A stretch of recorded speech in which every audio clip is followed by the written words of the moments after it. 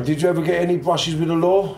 I was lying in a hospital bed with very little left. Maybe the smart move here is to get some education under my belt and, and try and make a career of football.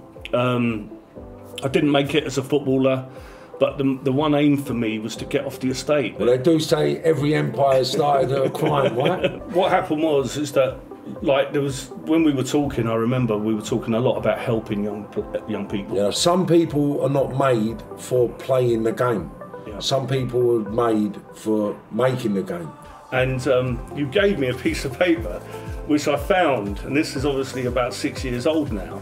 My sister's boyfriend sort of saw an opportunity there. He got right into the tickets. Uh, he said, "Let's get a desk on the front, and you could work in the. You've got to get up every day and report for duty."